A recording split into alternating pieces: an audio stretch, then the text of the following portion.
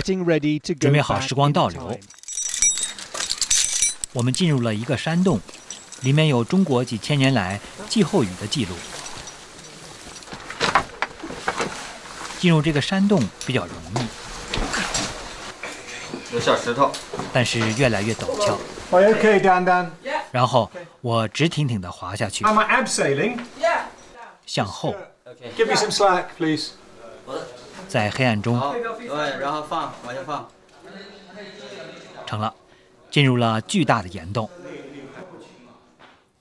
And here's what we've come for the stalactites and stalagmites, created by water dripping in through the roof of the cave from the surface above, each drip leaving a film of mineral, and each drip playing its own tiny part in the story of China's climate.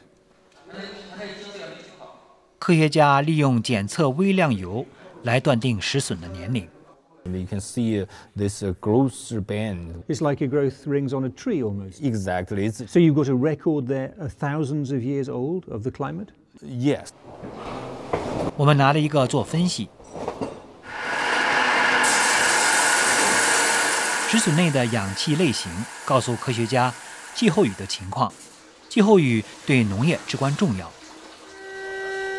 研究人员把石笋的季候雨记录同格陵兰的冰层记录做比较，他们发现几千年来在北欧的温暖气候与中国丰沛的季候雨相对应。但是现在已经不一样，欧洲继续温暖，而中国的季候雨则较弱，情况让人担心。For the past uh, thousands of years, uh, the uh, record has been consistent. For the past uh, 50 years, uh, the trend has completely changed. We think this is uh, probably due to man-made global warming. So it's 那么 not 还不 certain. 能肯定 but，it seems 但是我们的污染看来已经开始稍稍改变了这个山洞内的石笋。异想天开， 中国政界听到这种声音，并试图控制温室气体的增长。